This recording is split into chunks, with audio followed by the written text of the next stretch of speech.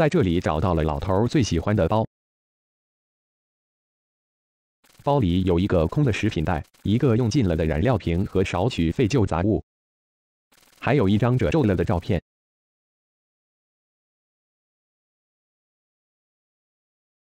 照片里，我看到了还是小女孩的老姐，一位漂亮的女性，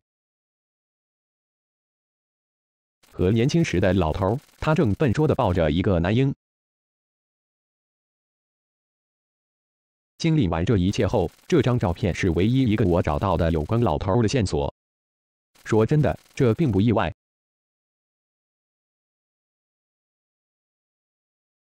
但是我心里依然相信他还活着。看，遭报应了吧，老头。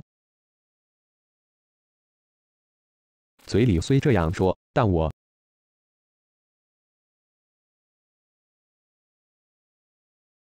但我心里不由自主的佩服这老家伙及他那非凡的一生，